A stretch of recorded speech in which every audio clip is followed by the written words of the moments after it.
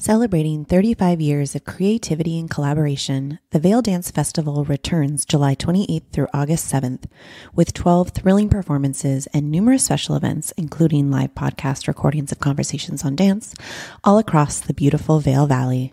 Don't miss the legendary Martha Graham Dance Company, LA Dance Project, Music from the Sole, Ballet X, Dance Aspen, and an all star cast of festival artists from New York City Ballet, American Ballet Theater, the Royal Danish Ballet, Boston Ballet, and many more.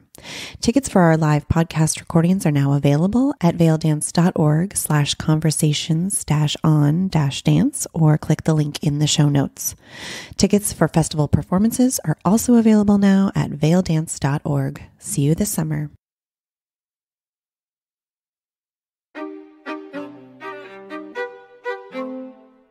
I'm Rebecca King Ferraro. And I'm Michael Sean Breeden, and you're listening to Conversations on Dance. Today on Conversations on Dance, we are joined by Emmy Award winning choreographer Joshua Bergasse. Joshua tells us about breaking into the theater world as a choreographer, how collaborating with other creative teams impacts his work, branching out into television on the hit show Smash, and the full circle moment of first performing in West Side Story and now staging the choreography in the current Lyric Opera of Chicago production, running now through June 25th at the Lyric Opera House. Tickets are available at lyricopera.org.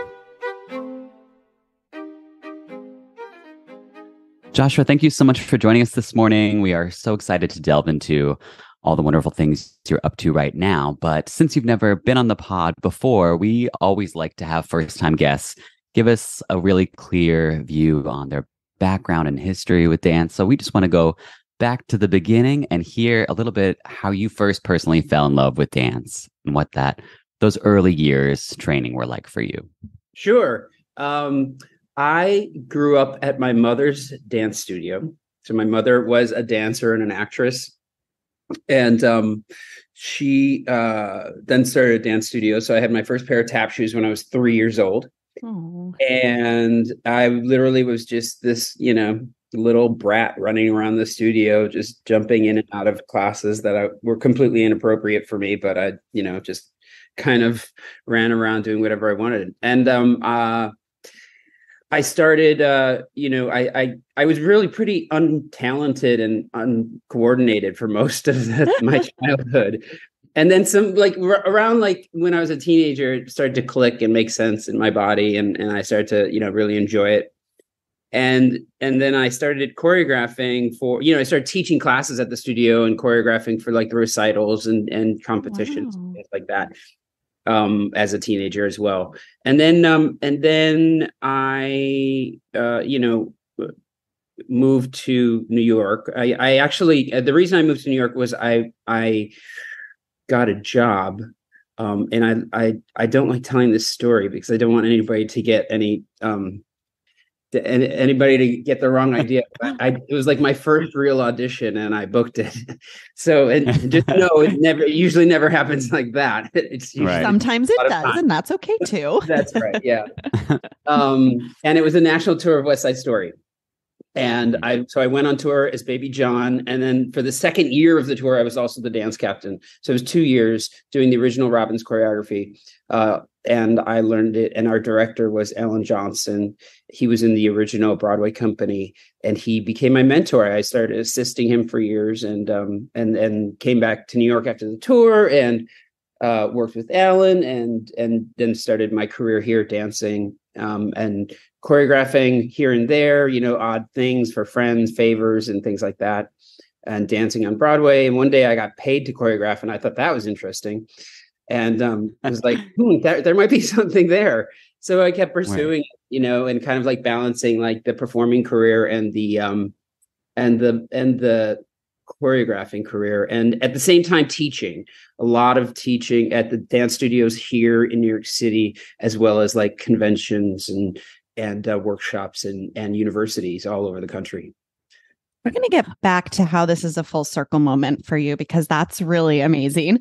Um, but before we go there, just to delve in a little bit deeper to this choreography concept, I think it's so rare for teenagers to play around with choreography and choreographing. What initially gave you that opportunity and drew you to that and and how did did you find it like a different challenge what kind of process were you going through just as such a young kid yeah um i mean it was because because i started teaching and i had to come up with you know material for class. And then i started working with like the competition groups at the studio like teaching you know uh, choreographing for those groups. And then mm-hmm. choreographing for my high school musical when they found out oh that i'm a i'm a dancer. Will you choreograph fiddler on the roof? and you know that kind of thing. Um so so the cool thing about it was I, it was just so much about experimentation you know because there were weren't really any any rules uh you know and and nothing really needed to be a commercial success or anything like that. It was just like right. oh i love this song.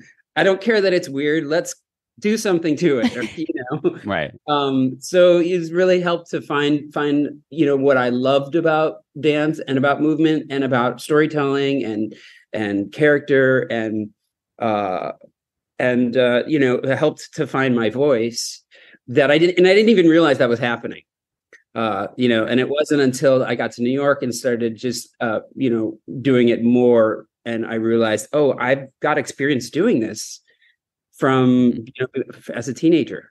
Mm. Right. So the story you told, the very, very unlikely tale, but it's real that you booked your first audition.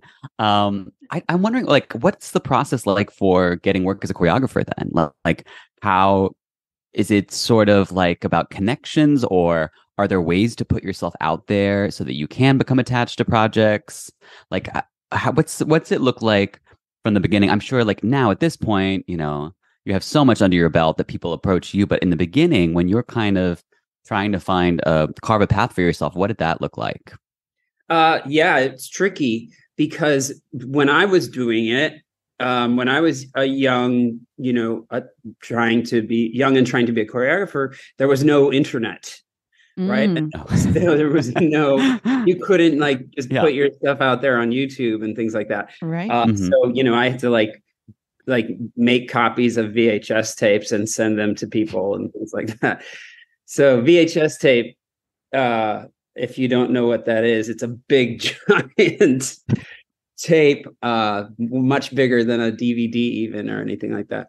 Anyway, so um, it was tricky, and and that's literally you you did anything you could do to put your work out there, and it was always it was usually for free. It was a favor for a friend or a showcase. Mm-hmm. You know, you heard somebody was going to put together a choreography showcase, and you asked them if you could be involved.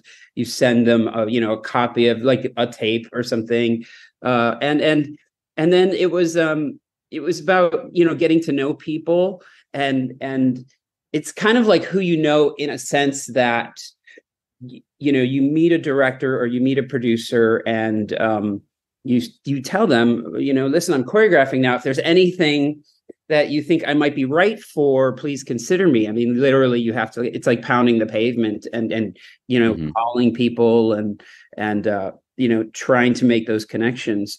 Um and and a reel and it's you know having that that tape that reel that choreography reel was so important and it had to be something with substance with substance but also quick enough so that somebody didn't have to spend two hours watching it um right. you know it was really tricky you know right. to capture somebody's attention but also give them a sense of your voice as a choreographer mm-hmm. so uh yeah it's real it was it was really you know you you have to put a lot of energy, a lot of work into it. There's rejection, and um, and you just have to be able to you know help deal with that in a healthy way.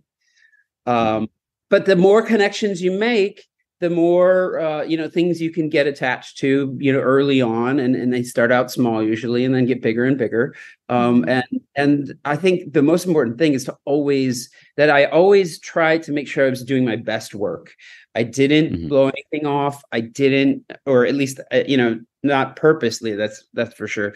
Um, you know, if it wasn't my best work, it it's not because I didn't uh, meant for that to happen. Um, but uh, you know, I think because that way, because your reputation always you know precedes you in this business. We mm-hmm. all talk about you know the people that we work with and recommend people to other people. Mm-hmm. Right. I wonder when you decided like okay the path i want to go down is just this choreography path you were mentioning before you were kind of trying to balance dancing and choreography when did choreography start to take over for you and you start to realize like this is the path i'm going to go down um yeah it started it, it's it started i guess in like the mid 2000s or late 2000s probably i think i was doing um i was on a national tour of moving out uh, the Billy Joel Twyla Tharp mm-hmm. show, and um, and I was loving it, and I was you know just really dancing my butt off, and but I was getting a little older, and it was it was a little painful, you know, and uh, so so I did that for like over a year, and and then after that I was like, this is a good one for me to retire on. I think just really mm-hmm. loved the show. I had a great time. I I worked so hard on it, and um and then that's when I kind of switched gears, and I think that was right around like late late to the 2000s. Yeah. Mm-hmm. mm-hmm. And that's when I you know, decided I'm really going to focus on the choreography solely. Mm. Right. You mentioned something earlier that I think is interesting, and I don't know that we've ever really touched upon when we've spoken to choreographers before, but the commercial component of theater, you know, Broadway is is for profit. Do you feel like that ever impacts your work? Like, um, you know, well, also you're part of a big creative team, and it's not not the ballets like you know not that what they give someone a premiere at New York City Ballet and say do whatever the hell you want, but you know it is it's just a different vibe. Like what how does that impact the work that you are creating? Yeah, it's it it it, it definitely is uh, it does have an impact because you know that you know the goal is for if it's a commercial project for it to be a commercial success and sometimes that means that just because you think something's great or you think something's interesting um, doesn't mean that the that's going to sell tickets. Hmm. and and so you have to kind of balance that out. You have to figure out like how do i stay true to what i feel is art artistically uh you know worthy for this project but also make sure that um you know i'm i'm pleasing the commercial aspect of it uh because mm-hmm. without that i don't have a job right you know if they can't sell tickets I, I, there's i don't have a job and nobody right. has a job all the people involved right. So, you know, we all have to keep that in mind. And another thing you bring up, which is so important in this, in like Broadway and commercial theater, is the the collaboration.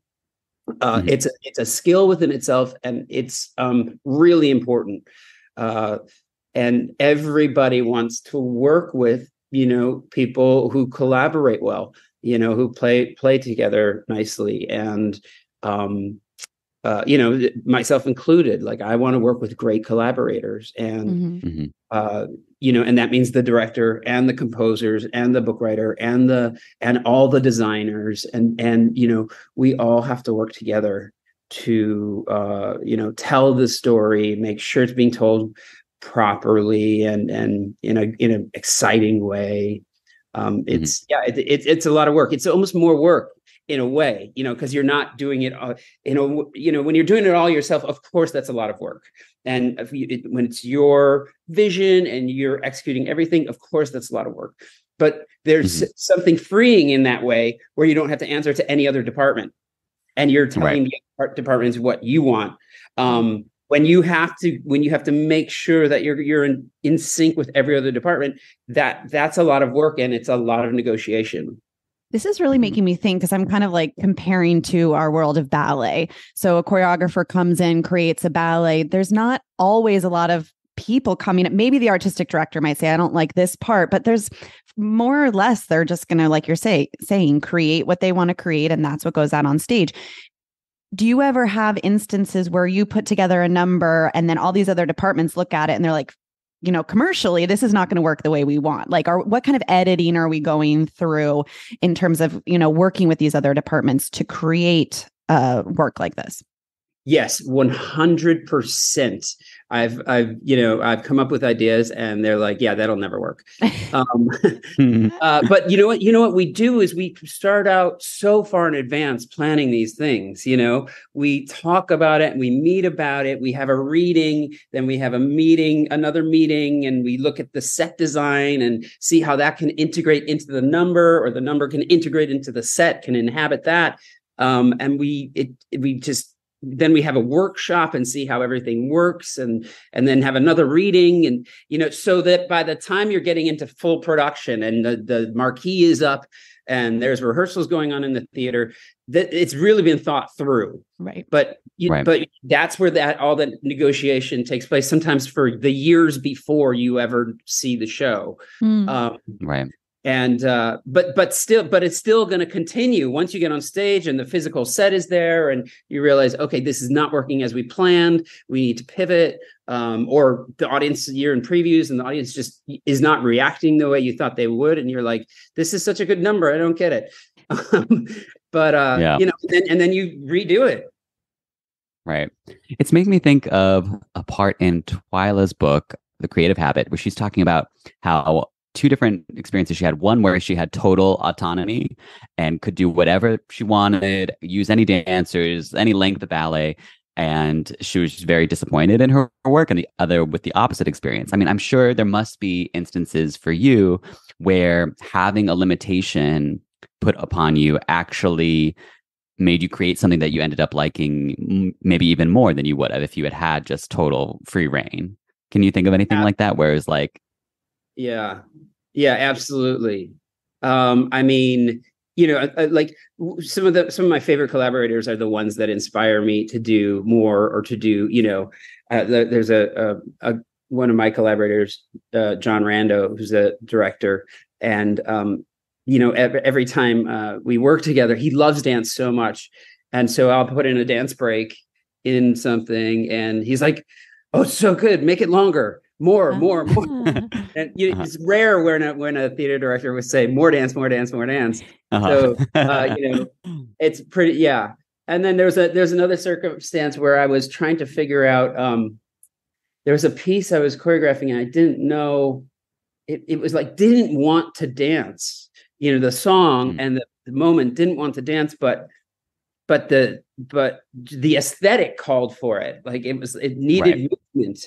So mm-hmm. um, I just created this new kind of, you know, just new way for me to come up with movement that mm-hmm. was very kind of like based in in lyrics and it was very gestural uh, and it was like a new vocabulary for me but I right. it came out of necessity um, and it's something it's a like a new technique I use when I find myself in a position where I can't uh, kind of like figure out how the movement should be used, but the, the moment requires movement.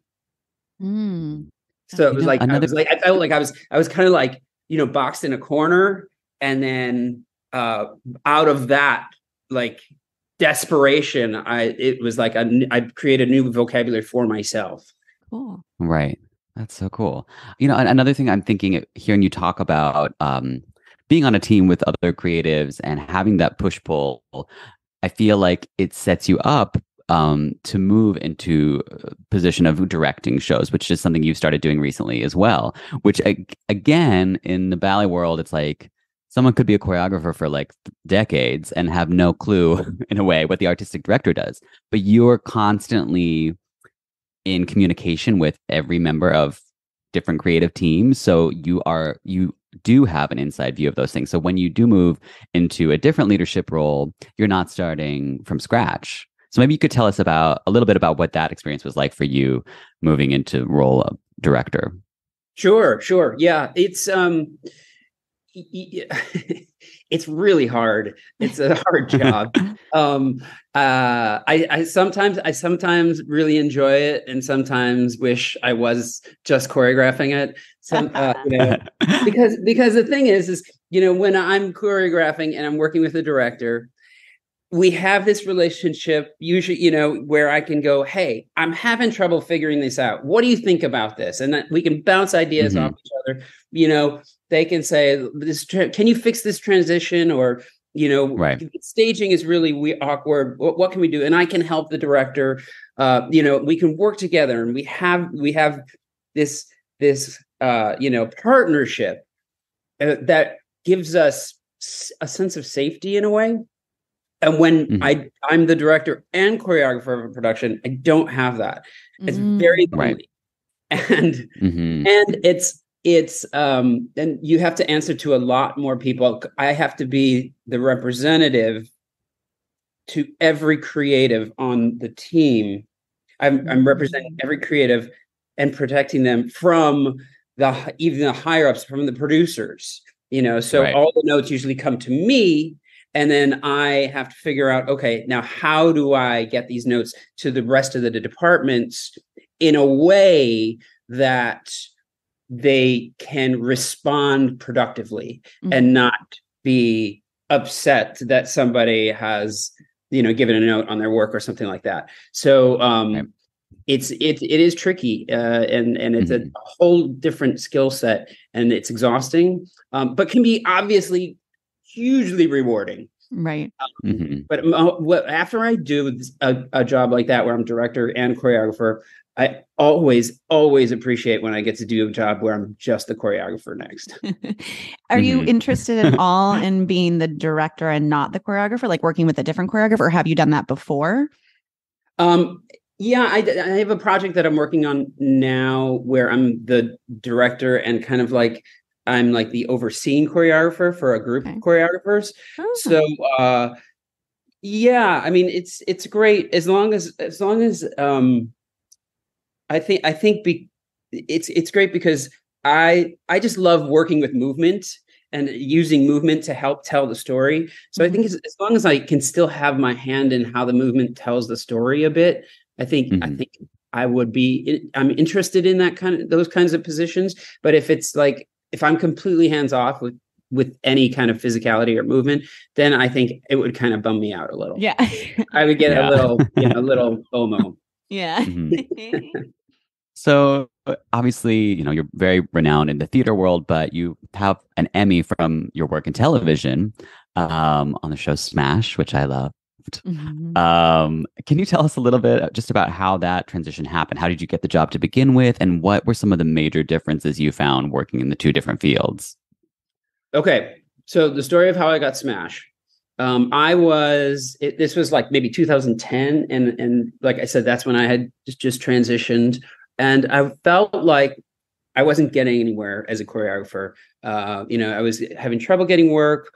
Um, I felt like my peers were surpassing me, and I was very, you know, not that I was, yeah, I not that I was was unhappy for them. I was happy for them, but I felt like I was just kind of getting left behind, and and didn't know if I was going to continue to do choreography anymore, and and thought about a transition into a completely different field. I didn't know what it would be, but um, and then uh, so I was choreographing a, a, a benefit for New York University, their their annual gala, and it was I was asked to do one or two, I forget, uh, pieces on their students, and um, it was really, I mean, it was a very small kind of gig, and and I, you know, had plenty of time to do it because I wasn't working much, uh, and so I did it, and and it went it actually went really really well and I was very happy with the work. Like I was saying before, always putting your you know your best work out there. Uh, and um, so Michael Mayer, who's a, a, theater and opera director and and television and movies, and he was in the audience because he's a, an alum of NYU, and he contacted me afterwards, and he was working on Smash. He was they they were in prep. And he said, um, you know, I really liked your work, and I think you would do great at this uh, but I have to convince everybody else, including Steven Spielberg, to hire you because nobody knows who you are. Right. Um, so uh, he literally flew to LA with my VHS tape and I think by then we were on to DVDs. um, and showed it to to, to Steven Spielberg and and um, convinced him that that they should hire me and the other the other executive producers as well. And so I, I shot the pilot, and it was you know it was really Michael who who was uh, you know pushed for me to do that. And uh, the pilot, you know, the, that was the number, the big number, and that was national pastime. Um, and it was big hit. That everybody loved it. And then we went to series, and it was uh, so cool. It was a, it was a really wonderful experience because you're you know working with so many talented people. The dancers were fantastic, and so were the you know all the all the actors on the show and uh, the the vocalists and and and the writers and you know and and I had the the bank account of NBC behind me, so you know were, the budget was insane. Mm-hmm. Um, so uh, yeah, it was it was really a, a, great experience, and I learned a lot. I had not really worked uh, for uh, on camera work before that, uh, and I had to kind of like learn as I went along. Can we talk about that a little bit? Because I think as dancers, when you're doing film, obviously your dancing quality has to be different than if you're projecting out to an audience. It's just completely different experience. So for you as a choreographer, I would imagine very different as well. So how are you um, playing with the differences between creating for the camera something that's much more much closer than something for a big stage. Yeah well you know i i was lucky because my assignment was to create uh, numbers that would be on a big stage. So you it know, still has that feel right It was like, we you know the show it's a show about broadway. We need big broadway numbers or sometimes mm-hmm. smaller broadway numbers but so so it was in that was in my wheelhouse. It what i had to figure out is what's going to look good on camera right. what is the camera going to see right. what's going to make the final edit um, mm-hmm. and that was my learning curve uh, it was you know the we had we just had great we had great um, you know editors and cinematographers and camera camera people so that helped tremendously you know but as, after you know the first few episodes i could see what was working and what, what was looking great and what ended up, you know, being on the final edit and what didn't. And then I could right. really kind of like focus mm. on on on those things as I created the numbers and and and I would help. I would kind of like film them on my iPhone. By then we had iPhones, and uh, and kind of like film it, you know, you know, in in ways that I thought it would look great, and then send that off to the director and cinematographer. And say, ah. look at this, and here's some ideas of how you can shoot it. Um, you know, to give them a little head start on on how to shoot mm. it because we are always in a tight schedule. Sure. Right. Yeah. Let's shift gears and talk a little bit about projects you've been working on. Um, the lyric opera of Chicago's production of West Side Story, which is running now through June 25th. Um, obviously, West Side is something that you are very intimately familiar. I love that that was your is your big break, and now we're back at it. Um, what's your role been primarily? Are you restaging the Robbins choreography? How much of the of your own input are we putting into it? Just give us a rundown of what you how you've been involved with this particular production. Yes, uh, for this particular production, I'm restaging the Robbins choreography. That's that's kind of like what I do for for every production that I work on.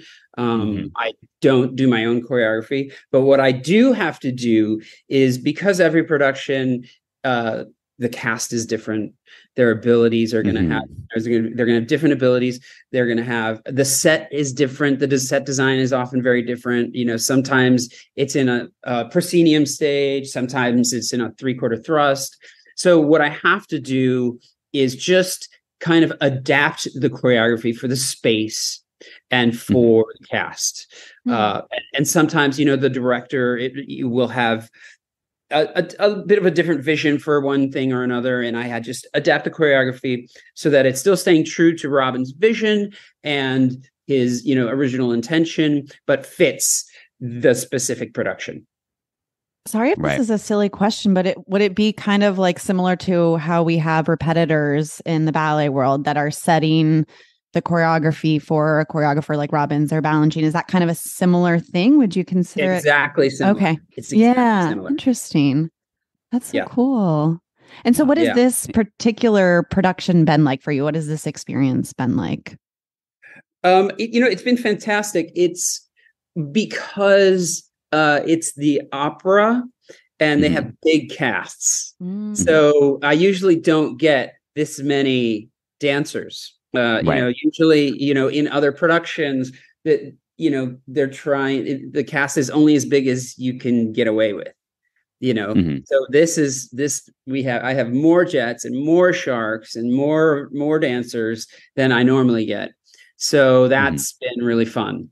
Um, and uh, and obviously the you you know having the the lyric opera orchestra has been really beautiful you know having having 44 musicians play you know really really talented musicians play the score is like is, is is a real treat because again rarely when you do a full production of West Side Story uh, will you have a, a pit uh, orchestra that's that large Wow. Right. Ugh, I'm sure that music is just so beautiful like that. yeah it's amazing Um, uh, you brought up an interesting point that I hadn't really considered too. Is that, like in theater, you you work with such a range of dance skill. You know, I mean, not everyone is a, a- exactly a triple threat and equally talented in every arena. You know, I'm sure you have like wildly talented dancers. and Then you have amazing singers and actors who need some help with their kind of own like physical awareness. Like, uh, what how, what are those different ranges bring out in you as a choreographer?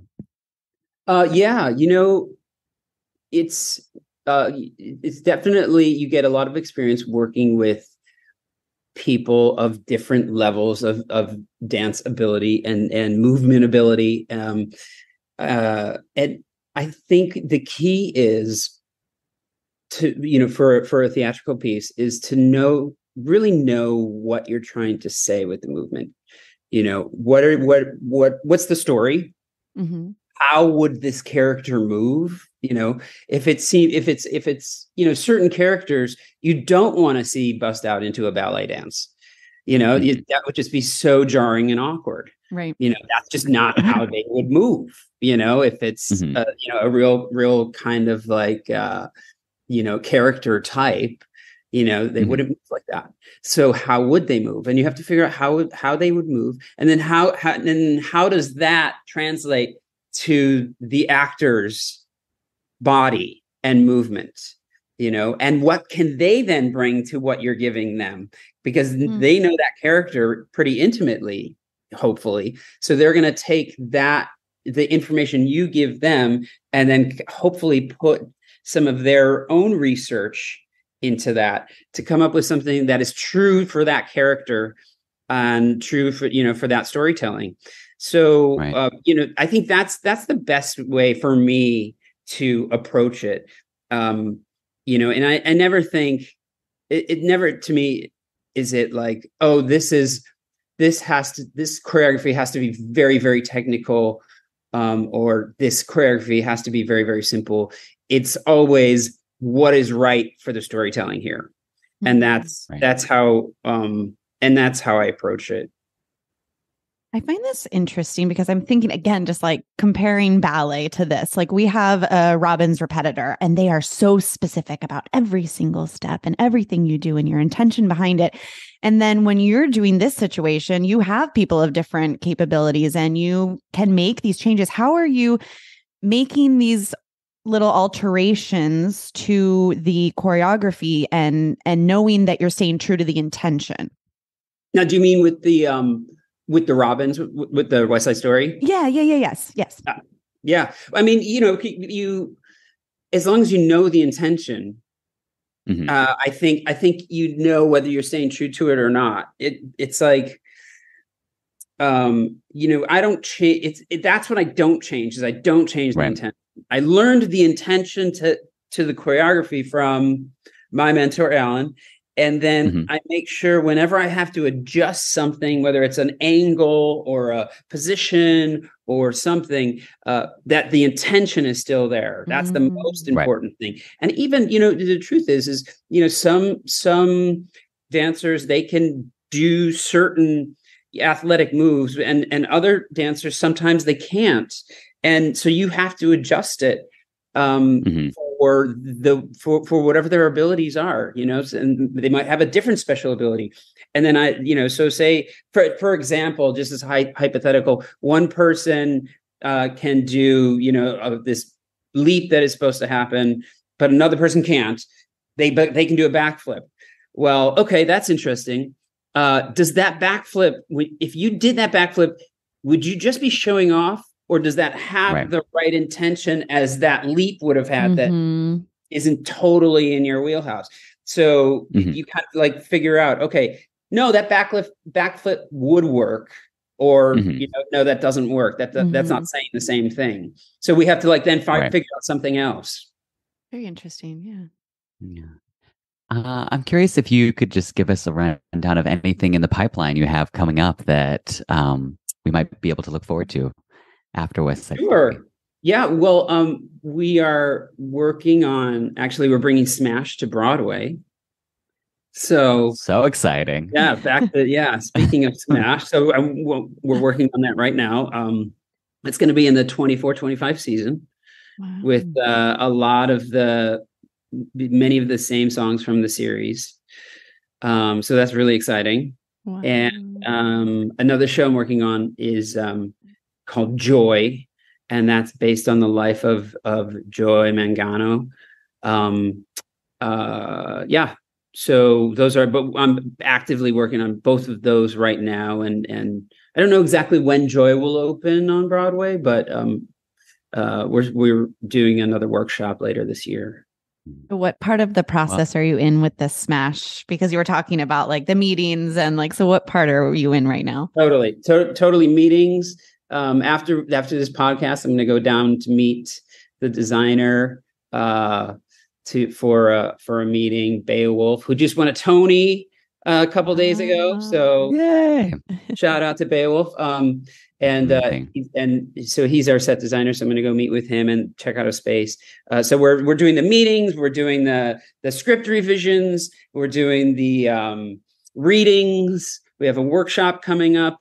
Uh, so still early days, but um, uh, it's when all that negotiating starts, right? right. Uh, well, I'm super excited. I, Let Me Be Your Star is a go to karaoke song for me, and I'm looking forward to hearing someone that's not me sing it. Uh, and of course, to sing your, your work. I mean, sing it live. It's just going to be so exciting for the audience, I think. And so I can't wait for Smash. But if you're in the Chicago area, there, by the time this podcast gets published, it'll be in about another week of performances. So we encourage all of our listeners to go out and see it. And um, just thank you so much for joining us, Joshua. It's been such a pleasure getting a view into your world of dance and theater. So we really appreciate having you.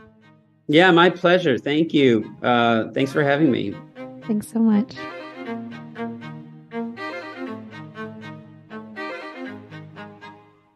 Conversations on Dance is part of the ACAST Creator Network. For more information, visit conversationsondancepod.pod.com.